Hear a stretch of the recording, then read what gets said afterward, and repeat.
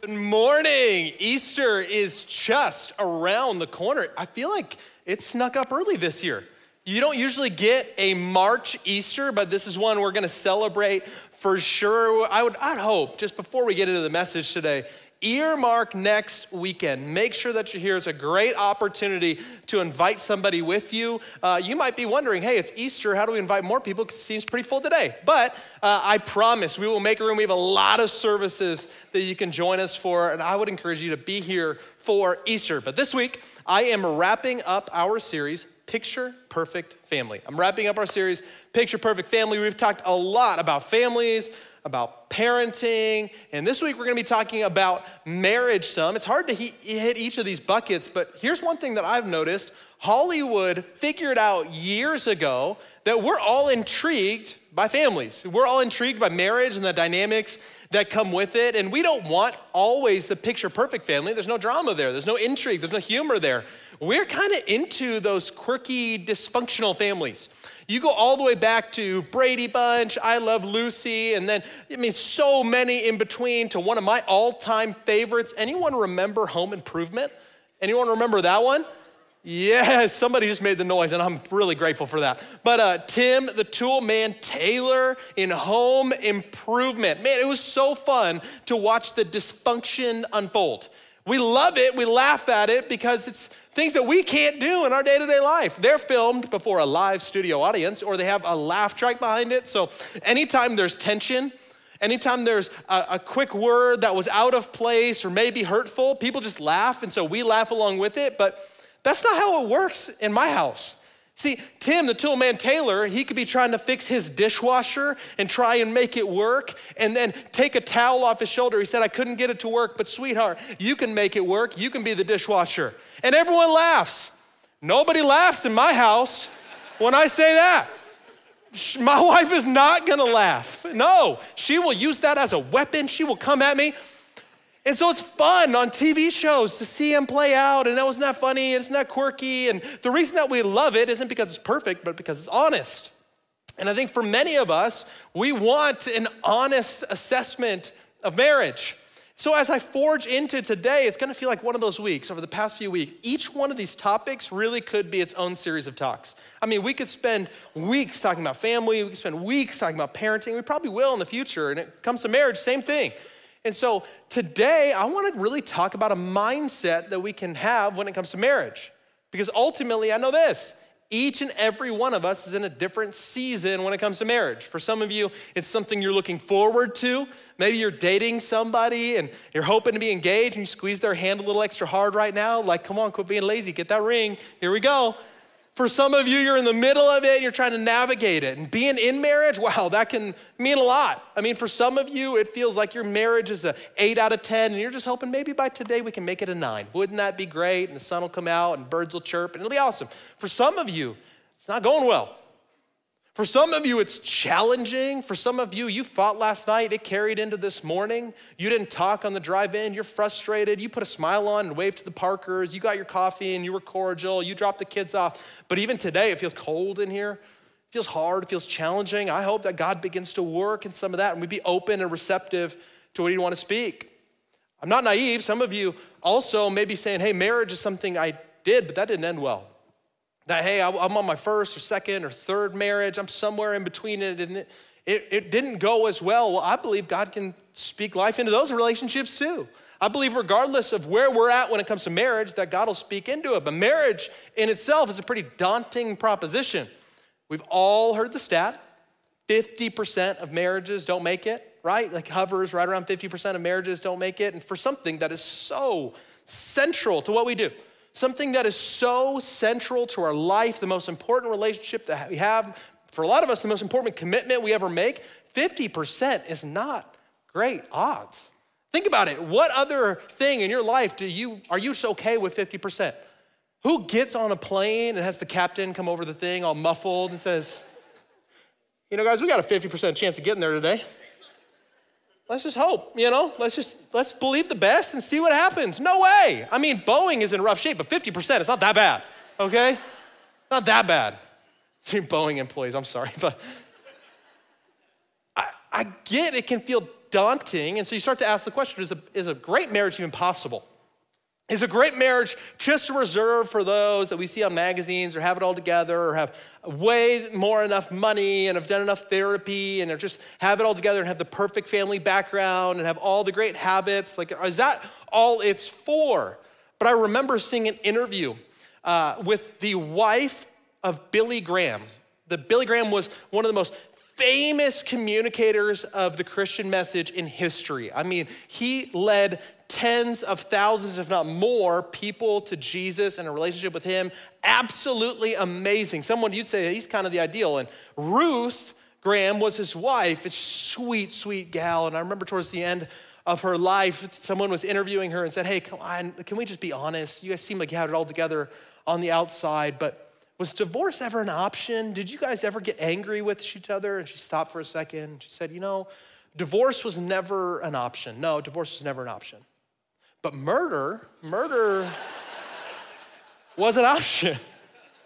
And I thought, how great is that?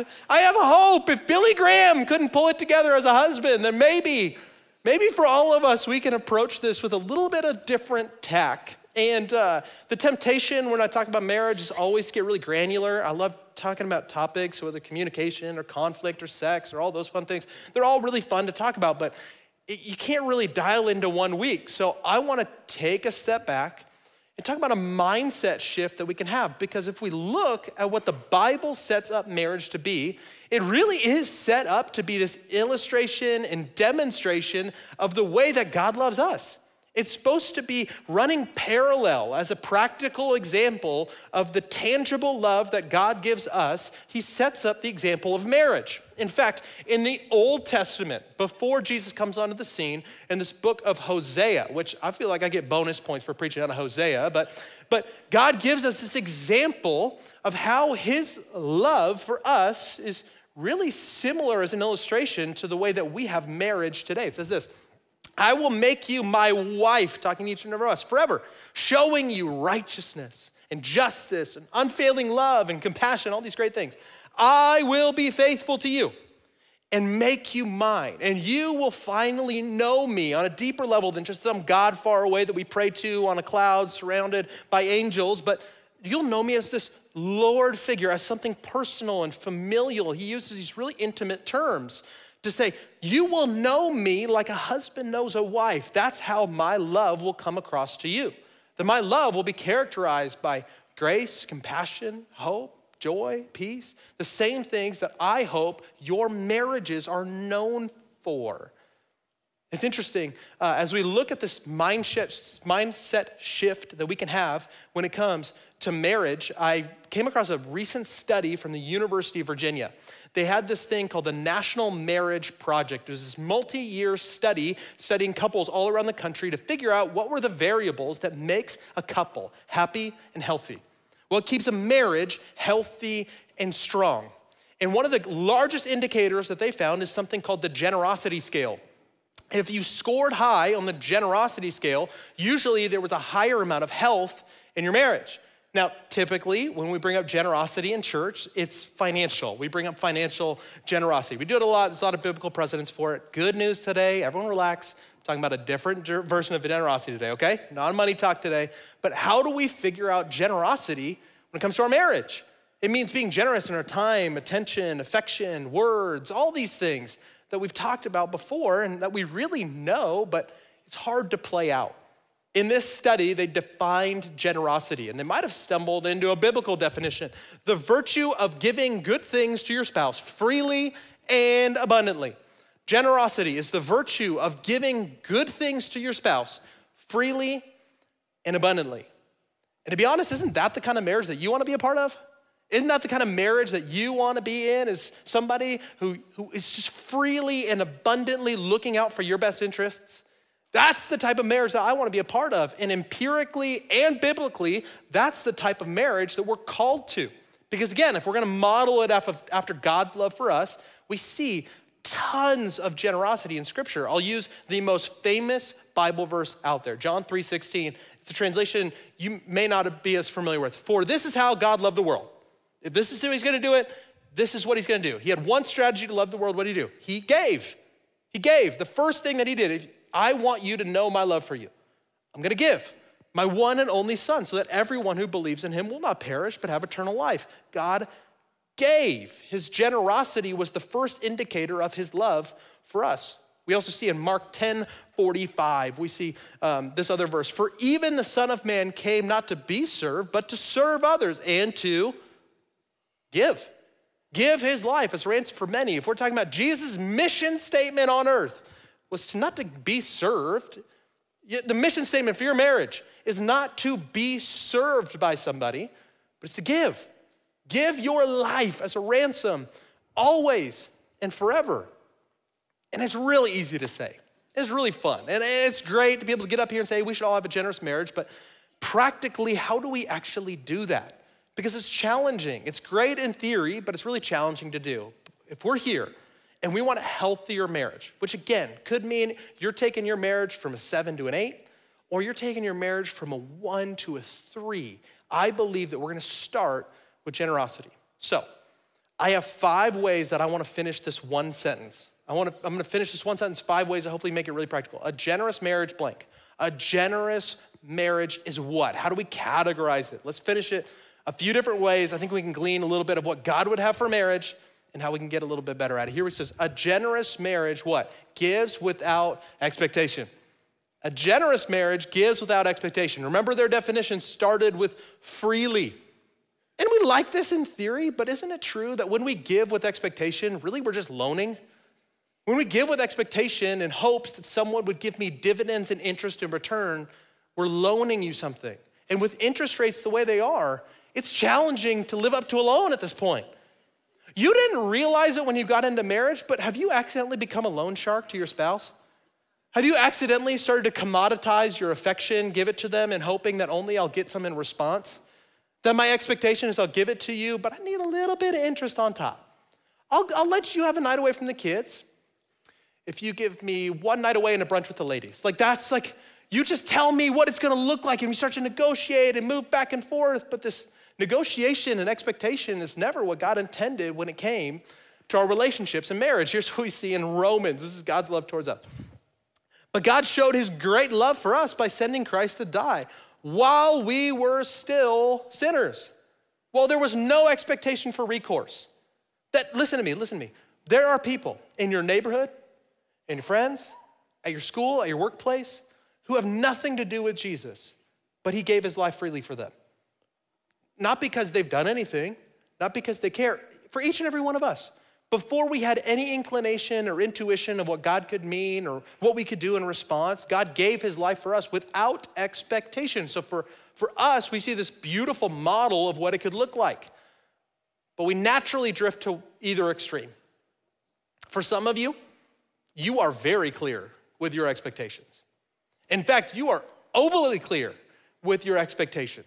That you've become, and these are harsh words, just bear with me, you've become a little demanding, a little entitled as to what your spouse is going to do for you. And when you do that, you leave no margin for them to be generous. All it is is an expectation. You leave no margin for them to show up for you in an unexpected way because you have been so over the top about what love looks like to you. On the other end, there's people like me who you've created uh, unexpressed expectations. That these are, these are agreements that you've made with your spouse that you've never said out loud. These are agreements that you have with your spouse that have remained silent. These are hopes, dreams, and desires that they don't really know about, but I, you know, I kind of believe that when my wife is taking time to pray, really she's just praying, Heavenly Father, show me how to love my, my husband so well. Like, just give me clarity on all of his needs, hopes, dreams, and desires so I can fulfill them. But the reality is that God's not gonna tell my wife my expectations. My job is to tell my wife my expectations, hopes, dreams, and desires. That is my job to communicate those.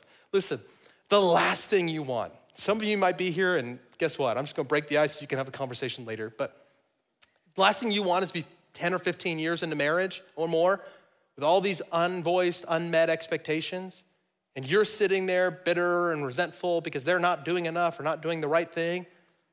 They're tired they're exhausted and they feel defeated because they've tried and they've tried and they've tried and it never feels like enough. That they've guessed and they're wrong, that they've guessed, they were wrong again, and now they're just done guessing. And so for you, you feel tired, you feel exhausted because it's unmet, and for them, they feel tired and exhausted because they've tried and it's not working.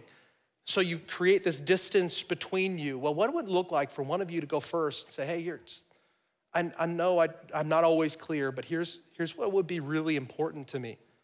Here's what would mean a lot to me. Here's what could really set me up to win. My wife actually did this the other day, and I applauded her for it. She was very direct. Um, she has her own business, and we have our personal family, so tax season's just around the corner. And she just looked at me out of nowhere. She said, Hey, um, I would like you to do all the tax stuff. I don't want to look at it. I don't want to know. I don't even know. I don't even want to look. I don't want to see a number. I don't want to see a spreadsheet. I don't want to talk to anybody. I don't want to do any of it. My expectation is that you could just go run and do that. And the good news is, like a seventh grade boy, I still have a crush on her. And so when she asks me to do stuff and I can clearly win at something, I'm gonna jump. I'm gonna do it. When she tells me how I would love that would make me feel really loved, I'm like, okay, I can do that. I can run with that. I might ask some questions, I might try and figure it out. But man, isn't it great to have clarity? What would it look like to bring some clarity to your marriage and relationship? Now, we give freely in the definition and we also give abundantly. So, the second thing, a generous marriage has an attitude of abundance. A generous marriage has an attitude of abundance. One of my favorite experiences in life is dining at a Mexican restaurant.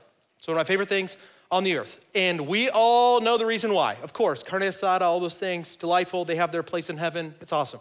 But the precursor of a great Mexican restaurant, come on. You walk in, chips and salsa. Oh, Lord. Come on. Some of you might be wine sommeliers. I feel like I'm trying to be a salsa sommelier. I'm trying to learn it. I, I wanna know. I wanna know, ooh, is that a smokiness? Is that what I, is that a hint of oak? I'm like breathing it out. I got a spit bucket for my salsa. I just know, like, oh, I, this is what I want. So if you have great chips and salsa, ooh, have we started this experience well? So when you sit down and they fire those things right away, we're on to something. But I cannot have chips and salsa alone. They need to be coupled with water. Because as much as I love them, I don't do spice very well. I get all sweaty, I get a little clammy, I don't like it. So, have you ever had the moment where they were quick with the chips and salsa but slow on the water? So, you're eating, I don't have any self control, so I'm just starting, I'm eating, and you don't wanna let it catch up. At some point, you just keep eating, and you're slow and you're like kind of waiting, you're trying to flag somebody down for water, you're trying to get something. So, the perfect scenario, they bring water, they bring chips and salsa, oh, and you're really set up for something good. But then what makes this the Trinity? What makes this the Trinity of Mexican food is when somebody is so attentive in their service. Have you ever had this? Where the chips are like half empty and they already replace it? Where your water gets, a, I wanna, I wanna be scared and startled by my server. That's my goal. I want, I want my water, I wanna take a sip and have them just over my shoulder and my peripherals, filling that thing back up. I'm like, oh my, you have a place in heaven. It's an angel. It's an angel right here on earth. They're just filling my water. They're ready. It's a silly example, but isn't that kind of what we would hope for in our marriage? Isn't it? It's a silly example. But our spouse would be so attentive to what's going on in our life and so quick to serve that they would want to be accessible, they'd want to be available, they'd want to be near. The reason that you and I get so frustrated when our water runs out at a restaurant and we, we're like, come on, come on, it's one, because you need it, and two, because you know it's available. It's readily and easily available. We know it. Just go fill that thing up at the tap, whatever it takes. Get me some water. And the same thing happens for your spouse, where you see their time and attention and affection, and you know it's available, it just oftentimes feels inaccessible. And if you're not careful, we start to guard them like a resource that's finite. We start to guard our affection and attention and emotions as something that is dispensable. So, like, I, I can't give you too much unless you're gonna give me some too. I can't, I can't be quick to do this for you because I don't know if you're gonna quick to reciprocate. And so we start to hoard and we don't live in abundance. And here's what I'll warn you if you're looking for your spouse to fill you up, if you're looking for your spouse to be your source of refreshing and renewal, you might be disappointed. But the good news is, that we serve a God who says, I will refresh you. I will be here to support you. I will be here to care for you and nurture you and provide for you. So if you look to me, you will be overflowing, ready to serve your spouse at all moments, not just waiting for them to reciprocate. So you can be attentive. You can know it's an available resource. You know you can be there for them. When we think about abundance, oftentimes we think of grand gestures. Think of the big things, the big gift, the big vacation, all these things you circle on the calendar, you get so excited about, and those have their place. They are great. But in this study from the University of Virginia, the, the, the, lead researcher in the study actually had this interesting thought when it came to the abundance that we're giving. And think about this this is a secular study, this has nothing to do with faith, but he found so many faith principles on accident. In marriage, we're expected to do our fair share when it comes to housework, childcare, and being faithful. But generosity is going above and beyond the ordinary expectations with what? Small acts of service, making an extra effort to be affectionate. It's about the small things. It's not always about the next big gesture that you can make, it's about the small, tangible, focused things. Listen, this week, maybe you come home from work and your spouse comes home and you have chips and salsa waiting for them. Does two things. One, nobody's mad at chips and salsa. And two, it proves that you're listening to the message and you actually want to try. I hope we get flooded with emails this week of pictures of chips and salsa and happy spouses. I hope that. I hope that happens. I dare you. I hope we flood the Tostitos industry. They are going to be dumbfounded by what happened in Redmond, Washington. I hope that happens because it's in the small moments, in the small things. Come on, you know what your spouse's chips and salsa is. You know what's important to them. You know that if you came, they came home and you had a bath already run for them with some candles all lit up, some little incense, some smelly things, a little book, a little lava cake. Man, it sounds great. you know, you know they're gonna feel seen and heard and feel it in abundance. Now, I'm not naive. By this point in the message, some of you are thinking, that's adorable. That's like really cute. Like, oh, isn't this great? Be more generous, neat church talk. But if you knew my marriage, if you knew what I was going through, man, if you knew my spouse and I tried to do this above and beyond abundance, generosity thing, they would run right over me. They would take advantage of me. I would be, I already feel used. I already feel exploited. Why would I make it worse? I already do this stuff and they do not reciprocate. They don't mean anything. Come on, come on. What would it look like to try? What would it look like to give effort? What would it look like to just, maybe you can't be generous with the big things. Maybe you're just generous with a smile this week. Things have gotten really hard.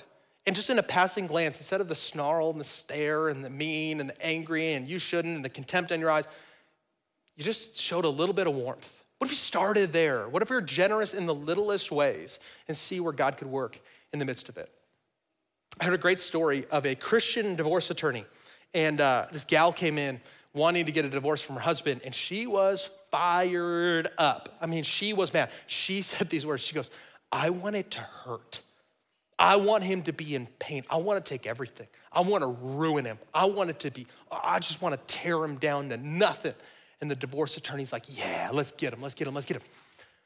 The divorce attorney looks at her and says, Yeah, okay, you want to make it really hurt? Man, if we do that, if we just go at him all mean and angry, you know, honestly, he's gonna be kind of glad you're gone. But why don't you do this? Why don't we drop the papers for six months from now? And you take the next six months and you be his dream wife. You be the dream spouse he always wanted. You go above and beyond. You do everything. You do the chips and salsa. You do all of it. You serve him over the top. You're generous with your words. You're kind. You come home. Honey, how are you? How was work? You're attentive. You're affectionate. You're encouraging. You're all the things. And then in six months, we rip the rug out from under him. Oh, he's not gonna know what hit him. He's gonna miss you so bad. That'll hurt more than any money that we can take from him. She says, Yeah, now we're talking. Get him. So she goes to work. She goes to work. Oh my gosh, sweetheart, you look strong today. Have you been lifting? She knows he hasn't. But you've been at the gym, haven't you? Wow, I don't forget. Ah, you're so handsome. You're all these things. She's doing all the stuff. Six months goes by. Divorce attorney calls her, says, All right, it's game time. Let's get him. She says, You wouldn't believe it. Fell back in love. You wouldn't believe it. We fell back in love. You wouldn't believe it. I had to tear up those papers. You wouldn't believe it. We're closer than we've ever been. we have done more together than we ever have. He's more receptive than I ever thought he would be. I think we're changing, and I don't think I want a divorce. no, seems like a wild story, but what if you started? What if you started today to love abundantly? Let's move to point number three. Point number three uh, leads us to this one. Maybe. Yep. It believes the best possible interpretation. this is words and actions, people. It believes the best possible interpretation of what our spouse is bringing to us. The information that we're presented with, it believes the best possible interpretation of it. What would that look like for you? To start to believe the best possible interpretation again. And I know it's easy not to. I know it's easy no, because we default to offense. We default to thinking they have an agenda, that they're meaning something. We get frustrated over it. Why would you say that to me? Why would you do that to me? You know, my seventh grade boyfriend said that to me. Why would you bring that up? Like, you, you did that on purpose. You get frustrated. Come on, what would it look like to just really believe the best possible interpretation when it comes to our spouse? We see this passage, we read it at weddings a lot. It's one of my favorites. I'll read this at weddings even when I perform weddings. It's so powerful, it's so beautiful. Here's what it says but at the beginning of creation, God made them male and female. And for this reason, man will leave his father and mother and be united to his wife, and the two will become one flesh. Oh, I love it. And so they're no longer two. No, they're not. They're one flesh. Therefore, whatever God has joined together, let no one separate. And then we light a little candle together. We pour some sand into a thing, and the sand mixes together, and we go, oh, it's one. It was two, but now it's one. You can't even separate that. It's beautiful. And we love it. It's beautiful. And we think this is just like gentle, soft illustrations. Really, this process is more like two Mack trucks going 60 miles an hour at each other and it's just hot metal and carnage that fuses together. And somehow this thing comes together because you got your baggage and I got my baggage and you got your history and you got your, and the way your parents fought and the way my parents fought and the way I watch Home Improvement and the way you watch Brady Bunch. And now it all comes together in this hot mess of expectation. And we come to each other and we think, how do we make two become one? Because you know this to be true. Opposites they attract, but they don't fulfill. Opposites attract, but they oftentimes frustrate opposites. They're really attractive, but sometimes it can be really challenging. I'm gonna take a poll and I want you guys to play along. Can you please? I want you guys to play along with me on this one. I have a few questions for you, and I wanna know what group that you fall into in here. Raise your hand if you are a punctual person who's on time to things. Come on. Yeah, you raised your hand quick, even. Look at you. That was on time. You were with it. All right, opposite. Raise hand if you are socially late. Like you are socially like, yeah, yeah, yeah, yeah. It's okay. Like I don't, I know who you are because sometimes you'll come up after a service and you'll be like, hey, I loved this week. You guys started with music. It was so powerful. it was amazing. You should do that every week. I'm like, we do, we do. We should do every week. You're just not here for it, but that's fine. That's fine. God still loves you. That's okay. You have a place here. Just here are our service times and just be around, around there. How many, how many of you guys, okay, when you're on a road trip, you're on a road trip. Some of you are the, uh, we're gonna get there fast and efficient. You have an itinerary, you know where you're going, and you do it. Come on, where are you? Yeah, yeah, yeah, yeah, yeah. Someone asks for a rest stop, and you're like, listen, you check your printed itinerary. You had a chance, okay? Your bladder infection is your fault, okay? You, you own this.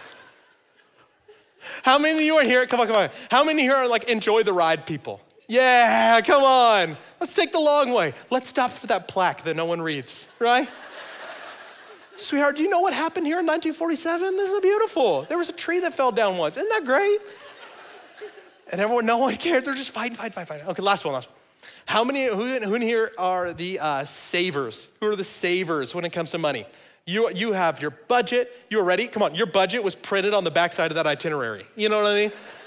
You got the Excel document, you got whatever. Where are my spenders? Where are my spenders? Yeah. We're actually going to take an offering right now. Praise God. That's my people. Oh, isn't it fun to see the differences? But when I do it like this, it feels like a sitcom. There's a laugh track. Oh my gosh, look at you. You spend, I save. Ha. but how many times have you held an Amazon package in the air in contempt? You keep spending. What are you spending? We need to save. We need to save. You get frustrated. It's funny to see in the room.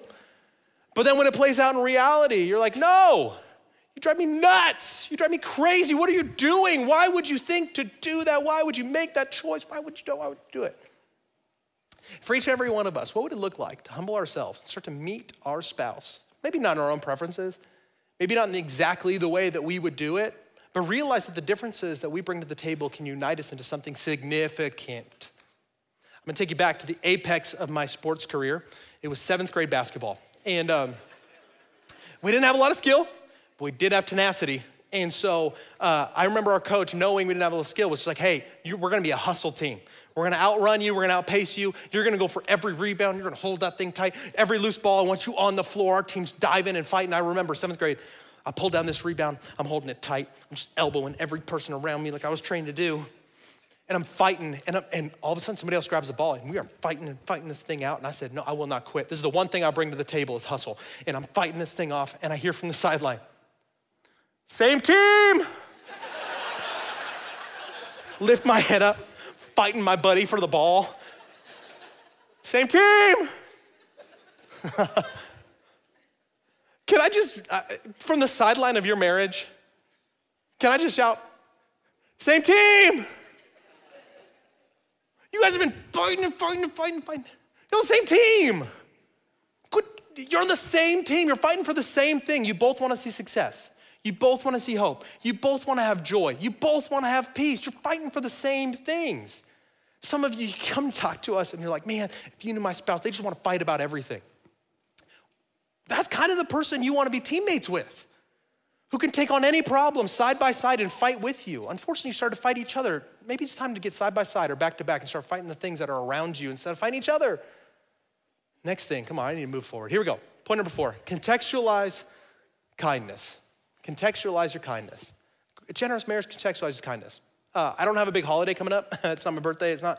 Uh, it is Father's Day coming up though. So if you want to give me a Father's Day present, not mad about it. And uh, let's say you did, in this fictional scenario, you brought me this big box and it was long, skinny. I got so excited about it. And I opened it up and you got me the top of the line, best of the best, most expensive, custom made fishing pole on the planet. I wouldn't care. I wouldn't care at all. It's great, it's very thoughtful. I would be like, yes, that's, oh, wow, thank you so much. I don't fish. Some of you have spent so much time getting your spouse a fishing rod when they don't fish. You've spent so much time trying to care for them in a way that they don't care about. That you spend so much time trying to show up and care and be there for them in a way that actually doesn't mean much to them. Here's what the Bible says about this. This is so great. One person gives freely, yet gains even more. Another withholds unduly, becomes to poverty. A generous person will prosper. Catch this. Whoever refreshes others will be refreshed. Whoever chooses to refresh other people will themselves be refreshed. Now, if you had to think of a word to describe a marriage, it might take you a while, but isn't a refreshing marriage something that would be great? Every time you saw your spouse, you just felt refreshed. Every time you were around them and you just both gave generously to each other and you just felt refreshed by that relationship. Oh, it sounds amazing. And before I get to my last point, here's all I want to say. I usually always try to end a message with like hope, excitement, joy, God is with you, it's great. It's true. This one's gonna feel a little bit more negative, but man, if we don't, if we miss this, I think we miss too much. A generous marriage isn't fair. A generous marriage isn't fair. And some of you, you've made fair the gold standard of your marriage. If I get mine and you get yours, then we'll all be fair. We'll be square and we'll be good. But listen, you don't want a fair marriage, you want a generous one. Think about it in a relationship with God. You don't want a fair God, you want a generous God. You don't want a God who gives you exactly what you deserve because we all know what we deserve. We all know we've fallen short. We want a God who leads with grace, redemption, hope. It's the same thing that we want in our marriages. If you catch nothing else, catch this verse straight from the Word of God. This is it. Each of you should give what you have decided in your heart to give. What would you decide today? Would you decide today that you want a generous marriage? Would you go back to the vows that you made? Said, I want to love you unconditionally sickness and health, richer or poorer? Would you go back to those? Because you've decided those in your heart. If you go back to those and you give them, look at not reluctantly or under compulsion, which is what we get to sometimes. Reluctantly or frustratingly or with expectations in return or knowing that's a finite amount. Come on, come on. Better than that, better than that, better than that. For God loves a cheerful giver. The same way God loves a cheerful spouse. The same way you love a cheerful spouse who's excited to give, doesn't feel like they're twisting their arm. You want a spouse who gives generously, not because they're hoping to get something in return and just hoping things get better, but because they love you and they're for you and not against you. And on the heels of Easter, next week, next week, we're gonna celebrate a God who is for us and not against us, who made it abundantly clear what his stance is for you, not because of anything we did, because everything in his character. He showed what generous love looks like, freely and abundantly gave his son. So for us, we're gonna model our lives after something like that. Maybe we could find a version of marriage better than you even hoped for, better than the vows that you said. Maybe a, a marriage that refreshes us, that put God's in the middle, shows a sense of generosity. We're gonna take communion in just a few moments, in the middle of a song, but I would love to pray for you first. I'd love to pray for your marriage. So let's bow our head and close our eyes and let's take a moment to pray. Heavenly Father, I pray for every marriage in this room. God, I even pray for the ones that haven't come to pass yet, that are in the future. I pray right now that we would sow the seeds of health for later, that you plant in us a heart of generosity. For those of us that are in the middle of it, we realize as two imperfect people coming together trying to live their best. We acknowledge that. And God, I just pray that you would give us the wisdom, the skill, the tenacity, and the bravery to live generously. It Doesn't come naturally for any of us, but God, when we do that, not only do we get a glimpse of what your love looks like, but we find the healthiest version of marriage. I pray for every person in this room who's in the middle of a frustrating season, a disappointing season, or a hopeless season when it comes to their relationships. Pray that right now you would begin to breathe life into it in a way that only you can. You'd begin to bring hope to it right now. Heavenly Father, that right now in this moment, the sun would begin to rise on a new day. That they would look at each other and say, We can fight about the past, or we can decide our future will be better. We can come into this thing united we may not be perfectly aligned in everything, but Jesus, right now, we choose to be generous. Let us be known for generous marriages. Heavenly Father, thank you for your grace. It shows us the way. Pray right now in these next moments, you would fill us up so we can give to our spouse abundantly and freely. Pray this in Jesus' name. Amen. Thanks for watching. But before you go, please be sure to bookmark this page so you can find us again next week. And are you looking for a way to get engaged and join a team? The online chat engagement team is a role that anyone and everyone can do, and it's simple. Engage with people, create an environment where people are free to be themselves, and more importantly, open to receive the truth of Jesus. And if you're interested in joining this team and becoming part of what God is doing through Timberlake Online, please let me know on your connection card. Links can be found in chat, and I'll see you here next week at online.timberlakechurch.com.